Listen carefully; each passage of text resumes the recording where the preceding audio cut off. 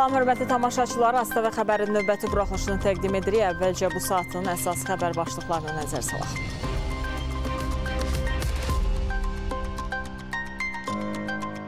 Prezident İlham Əliyev Sumqayıt şəhərində bir neçə sosial-iqtisadi obyektin açılışında iştirak etdi.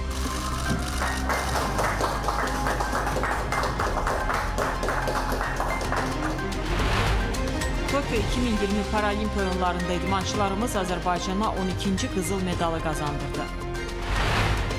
Covid-19-un yeni muş damı 43 ölkədə yayıldı. İndi isə ətraflı. Bugün Prezident İlham Əliyev Sumqayıt şəhərində olub. Bir neçə sosial-iqtisadi obyektin açılışında iştirak edib. Sentyabrın 3-də Prezident İlham Əliyev Sumqayıt şəhərinə gəldi. Dövlətimizin başçısı Ümummilli lider Heydər Əliyevin şəhərin mərkəzində ucaldılmış abidəsini ziyarət etdi.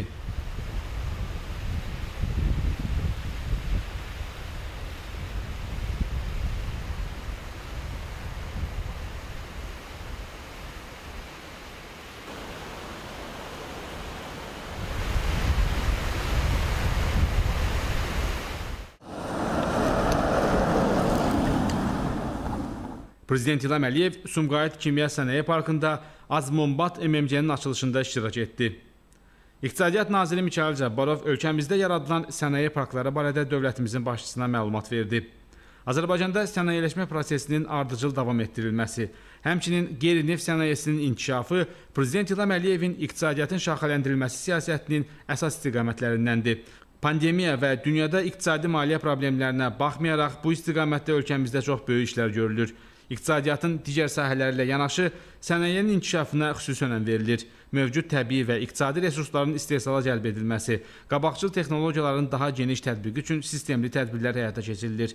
Sənayeleşmə siyasətinə uyğun olaraq ölkəmizdə daxili tələbatın ödənilməsində yerli məhsulların payını əhəmiyyətli dərəcədə artıran və ixrac imkanlarımızı genişləndirən yüzlərlə müasir sənaye müəssisəsi, yeni istehsal sahələri yaradılır. Sumqayıt Kimya Sənaye Parkında yaradılan Azmonbat məhdud məsuliyyətli cəmiyyət də bu müəssisələrdən biridir. Müəssisə Sumqayıt Kimya Sənaye Parkının fəaliyyətə başlayan 17-ci rezidentidir. Burada istifadə müddəti bitmiş qurğuşun turşulu akkumulyator batareyalarının utilizasiyası aparılacaq. Nəticədə propilen və yüksək sıxlıqlı polietilen, qurğuşun külçə, qurğuşunlu aktiv kütlə və amonium sulfat məhlulu əldə olunacaq. Müəssisədə bir sıra ölkələrin qabaqcıl texnologiyalarından istifadə edilir. 100 nəfərin daimi işlə təmin olunduğu zavodda istehsal olunan məhsullar daxili bazarın tələbatını ödəməklə yanaşı Türkiyə, Bolqarıstan və MDB ölkələrinə ixrac ediləcək.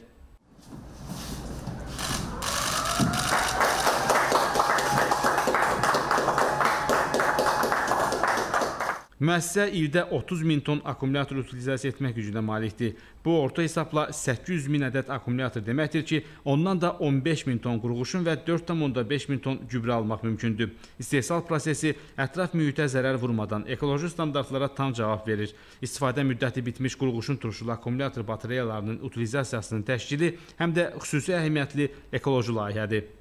Azmonbat MMC Sənaye Parkında tətbiq edilən vergi və gömrük güzəştlərindən yararlanaraq indiyədək xərclərinə 1 milyon manat həcmində qənaət edib.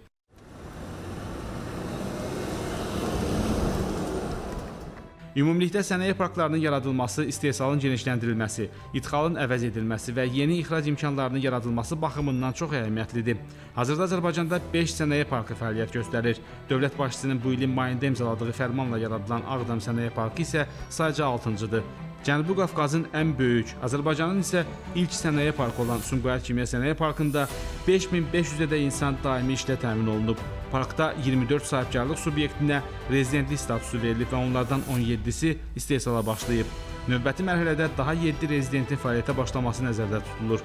Sənaye parkında məhsul istehsalı və ixrac istiqamətində müsbət dinamika davam edir. Belə ki, 2021-ci ilin birinci yarısında ötən ilin analoji dövrü ilə müqayisədə 49% daha çox məhsul istehsal edilib və 47% daha çox ixrac həyata keçirilib. Dövlətimizin başçısı Sumqayıt məhkəmə kompleksinin açılışında iştirak etdi. Ədliyyə naziri Fikrət Məmmədov burada yaradılan şərait barədə Prezident İlham Əliyevə məlumat verdi. Ölkəmizdə digər sahələrdə olduğu kimi məhkəmə sistemində də islahatlar uğurla davam etdirilir. Prezident İlham Əliyevin 2019-cu ildə imzaladığı fərman bu sahədə mühüm yol xəritəsi olmaqla onun icrası ilə bağlı kompleks qanunvericilik və praktiki tədbirlər görülür. Yeni regional inzibati və kommersiya məhkəmələri təsis edilib. Vahid məhkəmə təcrübəsinin formalaşdırılması üçün işlək mexanizmlər yaradılıb. Məhkəmələrin və hakimlərin təminatı gücləndirilib. Bu sahədə infrastrukturun müasirləşdirilməsi üzrə görülən tədbirlər çərçivəsində yeni məhkəmə bina və komplekslərinin inşası, onların ən müasir İKT qurğuları ilə təchizi xüsusi yer tutur. Sumqayıt məhkəmə kompleksinin inşası da bu istiqamətdə icra olunan layihələrdən biridir. Bu kompleks respublikamızda inşa olunan sadəcə 4-cü məhkəmə kompleksidir və Azərbaycan hökumətinin Dünya Bankı ilə birgə həyata keçirdiyi mütərəqqi ədliyyə xidmətləri və müasir məhkəmə infrastrukturu layihəsi çərçivəsində inşa olunub. Prezident İlham Əliyevə ədliyyə və məhkəmə sahəsində tətbiq olunan növbəti rəqəmsal innovasiyalar barədə də məlumat verildi.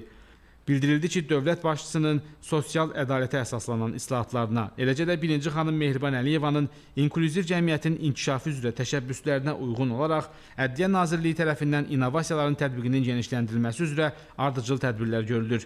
Bütün bu işlər vətəndaşların ədalət mühakiməsinə əlçatanlığının asanlaşdırılmasına, onlara yüksək keyfiyyətli hüquqi xidmətlərin göstərilməsinə, şəffaflığın artırılmasına, bütövlükdə məhkəmə hakimiyyətinə, ictimai etimadın yüksəldilməsinə yönəlib.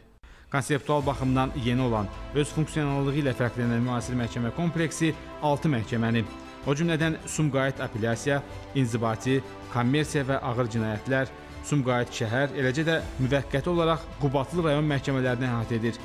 Bir qapı prinsipi ilə fəaliyyət göstərəcək məhkəmə kompleksi ədalət mühakiməsinin effektiv həyata keçirilməsinə, vətəndaşların müraciət imkanlarının asanlaşdırılmasına xidmət edəcək.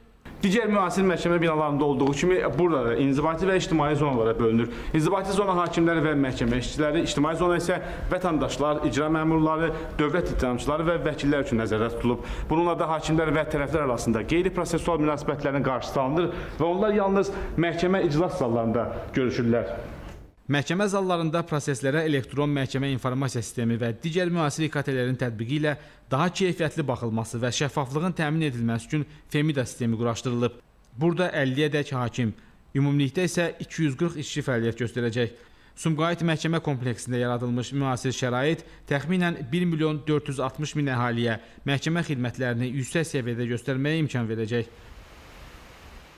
Prezident İlham Əliyev Heydər Əliyev Fondu tərəfindən yeni inşa olunan 1100 şagird yerli Sumqayıt şəhər 20 nömrəli tam orta məktəbdə yaradılan şəraitlərə tanış oldu. Sumqayıt şəhər İcra Hakimiyyətinin başçısı Zakir Fərəcov məktəbdə yaradılan şərait barədə dövlətimizin başçısına məlumat verdi. Təhsil müəssisəsində 42 sinif otağı, fən kabinələri, laboratoriyalar, əmək və hərbi təlim otaqları, kitabxana, akt və idman zalları, yeməkxana yaradılıb. Son illərdə dövlət başçısının rəhbərliyi ilə ölkədə təhsil sahəsində aparılan islahatların uğurlu nəticələrindən biri də bu sahənin maddi-texniki bazasının möhkəmləndirilməsidir. Bu təhsil ocağında yaradılan şərait Azərbaycanda təhsil sferasının keyfiyyətcə yeni mərhələyə qədəm qoymasının əyani göstəricisidir. Paytaxtla yanaşı digər şəhərlərdə də yeni məktəb binalarının inşası, mövcud təhsil müəssisələrinin əsaslı şəkildə yenidən qurulması ölkəmizdə təhsil sahəsini müasirləşdirmə istiqamətində aparılan işlərin tərkib hissəsidir. Bütün bu işlər həm də Azərbaycanda təhsilin və elmin inkişafına ən yüksək səviyyədə dövlət qayğısının olduğunu göstərir. Bu da təsadüfi deyil. Çünki Azərbaycan dövlətinin yürütdüyü siyasətin prioritetlərindən biri də insan kapitalının daha da inkişaf etdirilməsi, gənc nəslin bilikli və savadlı, yüksək intellektual potensiala malik yetişməsidir. Prezident İlham Əliyev Sumqayıt şəhərində növbəti güzəştli mənzil layihəsi çərçivəsində yaşayış kompleksinin təməlini qoydu. Mənzil İnşaatı Dövlət Agentliyinin İdarə Heyətinin sədri Sadiq Sadıqov yeni layihə barədə dövlət başçısına məlumat verdi. Hazırda dünyada baş verən iqtisadi böhran fonunda ölkəmizdə bu layihənin icrası Prezident İlham Əliyevin vətəndaşlarımızın sosial məsələlərin həllinə nə dərəcədə diqqət, qayğı və həssaslıqla yanaşmasının növbəti təzahürüdür. Bu bir daha sübut edir ki, Azərbaycan vətəndaşının sosial məsələlərinin həlli, onların mənzil məişət şəraitinin yaxşılaşdırılması dövlətin həyata keçirdiyi siyasətin mərkəzində dayanır. Ekoloji və enerji səmərəliliyi tələblərinə cavab verən müasir memarlıq üslubunda çoxmənzilli yaşayış binalarının tikintisini təmin etmək baxımından bu layihə əhəmiyyətli seçilir. Sumqayıt şəhərində növbəti güzəştli mənzil layihəsi 2 hektar ərazini əhatə edir. Burada 9, 12 və 16 mərtəbəli 11 bina inşa olunacaq. Ümumi mənzillərin sayı isə 466-dır. Onlar studio tipli 2, 3 və 4 otaqlı olacaq. Ərazidə həmçinin 90 yerlik uşaq bağçası inşa ediləcək. Mənzil İnşaatı Dövlət Agentliyinin regionda inşa olunmuş ilk layihəsi də Sumqayıt şəhərindədir. Vətəndaşlara güzəştli şərtlərlə təklif edilən bütün mənzillər tam təmirdə olacaq, həmçinin mətbəx mebeli, kombi isitmə sistemi, su, qaz və elektriklə təmin ediləcək. Mənzillərin satışı həm güzəştli ipoteka kreditindən istifadə etməklə, həm də öz vəsaiti hesabına ödəniş üsulu ilə aparılacaq.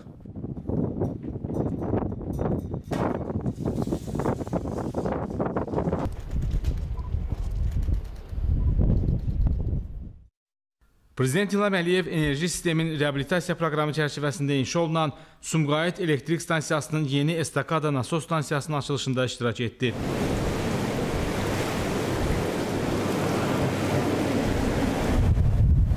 Azərenerji Açıq Səhmdar Cəmiyyətinin prezidenti Baba Rzayev dövlətimizin başçısına görülən işlər barədə məlumat verdi.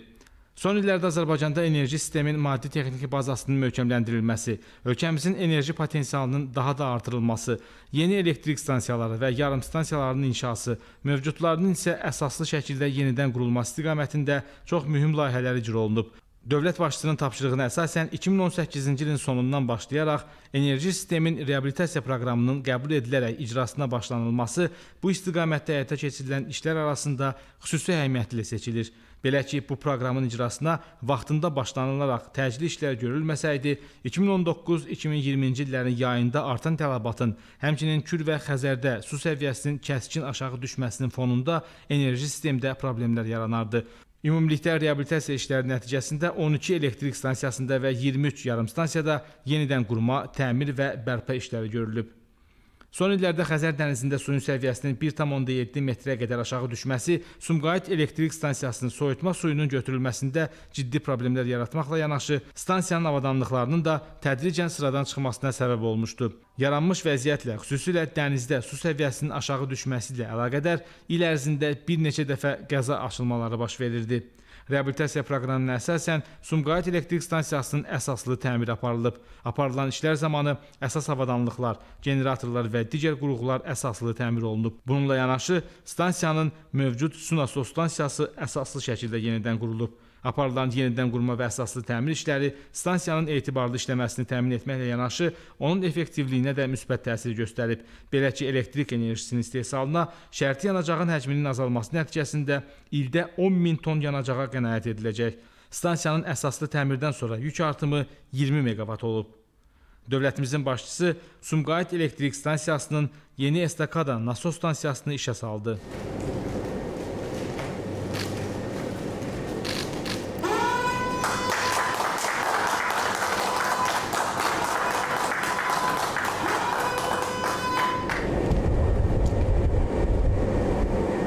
Xəzər dənizində suyun səviyyəsinin düşmə tendensiyasının hələ də davam etməsi və stansiyanın avadanlıqlarının uzun müddətli istismarı nəzərə alınmaqla dayanıqlı və etibarlı iş rejiminə nail olmaq məqsədi ilə təxirə salınmaz iri miqyaslı işlərə başlanılıb.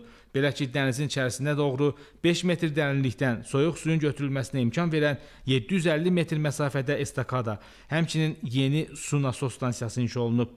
Bununla da stansiyanın soyuducu su təchizatının etibarlılığı təmin edilib və ən əsası stansiyanın fəaliyyətinin dayanmasının qarşısı alınıb. Yeni estakada üzərində tikilən və elektrik stansiyasını xüsusi üsulla soyuducu su ilə təmin edən yeni nasosxana istilik energetikası sahəsində ilk təcrübə sayılır.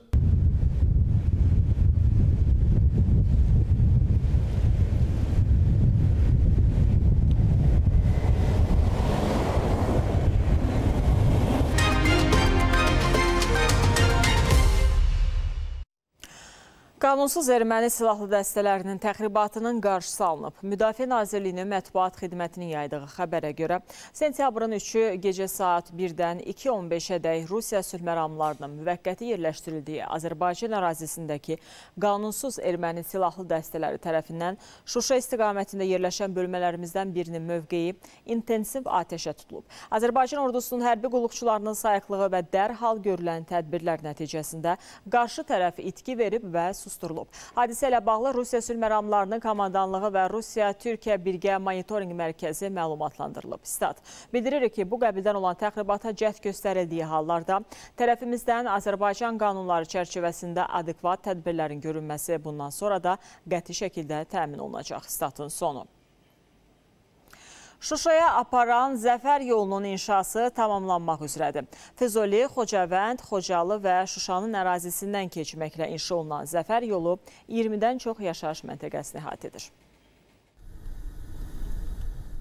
Öz başlanğıcını Hacıqabul, Mincivan, Zəngəzur dəhlizi avtomagistral yolundan götürən Zəfər yolu Şuşaya qədər uzanır. Artıq 101 kilometrlik yolda ərazinin böyük bir hissəsində asfaltlama işləri həyata keçirilir. İşlərin yaxın zamanlarda yekunlaşdırılması planlaşdırılır. Hazırda Zəfər yolunun asfaltlanmamış hissələrində də işlər sürətlə davam etdirilir. Yolun asfaltlanmasının bu ay ərzində yekunlaşdırılması planlaşdırılır. Dövlət başçısının tapşırığına əsasən ötən il noyabrın 16-sında təməli qoyulan və uzunluğu 101 kilometr olan Zəfər yolu Qarabağın inkişaf planı nəzərə alınmaqla ikinci texniki dərəcəyə uyğun inşa edilir.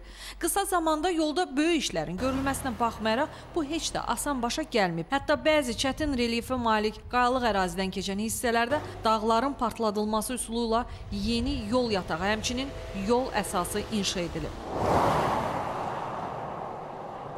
Hazırda isə işlərin son mərhələsi asfaltlanması həyata keçirilir. Bu günədək 31 kilometrlik hissədə 2 lay, 61 kilometrlik hissədə isə 1 lay olmaqla ümumilikdə 92 kilometrlik hissə asfaltlanıb. İş həcmi və layihənin qısa müddət ərzində yekunlaşdırılması tapşırığı nəzərə alınaraq tikintini Azərbaycan Avtomobil Yolları Dövlət Agentliyinin 4 yol istismar cəmiyyəti ilə subpodratçı olaraq yol tikintisi sahəsində ixtisaslaşmış qardaş Türkiyənin bir şirkəti və iki yerli şirkətimiz birgə icra edir. İşğaldan azad edilmiş Füzuli, Xocavənd, Xocalı və Şuşa rayonlarının ərazisindən keçməklə inşa edilən Zəfər yolu Füzuli və Şuşa şəhərlərdə daxil olmaqla söz gedən rayonların 20-dən artıq yaşayış məntəqəsini əhatə edir. Layihəyə uyğun olaraq 4 yeni avtomobil körpüsünün də inşası yekunlaşdırılıb, suyun ötürülməsini təmin etmək məqsədi ilə su keçidi tikilib, həmçinin drenaj quyular qazılıb, 9 yerdə yeraltı keçid inşa edilib. Nuray Mustafa, Natəvan Babayeva, Elşad Heydarov xəbərlər. Dost İş Mərkəzi Yaşat Fondunun şəhid ailələri və qazilərlə bağlı tədbirlərinə əlavə dəstəyin göstərilməsi məqsədi ilə 150 nəfəri işlə təmin edib. İşsizin Dostu proqramı çərçivəsində 150 sosial işçi Bakı və regional asan xidmət mərkəzlərinə təhkim edilib. İşə qəbul olunan 150 nəfərin hər biri ilə mərkəz arasında əmək müqaviləsi bağlanıb. Ümumilikdə İşsizin Dostu proqramı çərçivəsində hazırda 56 min şəxs ödənişli ictimai işlərdə çalışır. Ermənistanda hökumət əleyhinə etiraz aksiyaları yenidən başlayıb. Ölkəni kütləvi şəkildə tərk edənlərin sayı da kəskin artıb. Bu ilin 8 ay ərzində ölkədən gedən 140 min nəfər geri qayıtmayıb. 44 günlük vətən müharibəsində ağır məğlubiyyətə uğrayan Ermənistanda etirazlar, mitinqlər, nümayişlər səngimir. Bu dəfə hökumət binası qarşısına toplaşaraq etiraz edənlər Azərbaycanın ayrılmaz hissəsi Qarabağda vaxtı ilə məskunlaşdırılan bir qrup ermən ailəsi olub. Etirazçılar müharibənin bitməsindən 9 ay keçməsinə baxmayaraq onlara hökumətin ayırdığı müavinətlərin, kirayə xərclərinin və yardımların məmurlar tərəfindən mənimsənilməsindən şikayət edirlər. Üstəlik, İrəvan erməniləri tərəfindən onlara qarşı ayrı-seçkili nifrət halları da kəskin artıb. Etirazçılar problemləri həll edilməzsə daha qətiyyətli addımlar atacaqlarını deyiblər. Onlar digər ölkələrə üst tutmaq üçün İrəvanda fəaliyyət göstərən xarici diplomatik korpusların nümayəndəliklərinə müraciət edəcəklərini də gizlətməyiblər. Yeri gəlmişkən, son 8 ayda ölkəyə gələnlərin sayı 637.570 və tərk edənlərin sayı isə 775.850 nəfər təşkil edib. Bu isə təqribən 140 min nəfərin geri qayıtmamasıdır. Ötən ilin 8 ay ilə müqayisədə isə 29,5% artım deməkdir.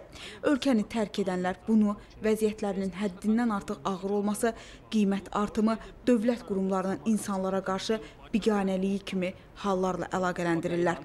Aydın Eyvazov, Günay Bünyadzadə, Günel Habil qızı, xəbərlər. Davam edirik. Dünyada yeni növ koronavirusla rəsmi təsdiqlənmiş yoluxma sayı 220 milyon 120 mini ötüb. İndiyədə yoluxanların 4 milyon 560 mindən çoxu infeksiyanın qurbanı olub. Covid-19-un yeni muş damı yayılma realını genişləndirməkdədir. Pandemiya ilə mübarizədə əsas gündəm isə yenə vaksinasiyadır.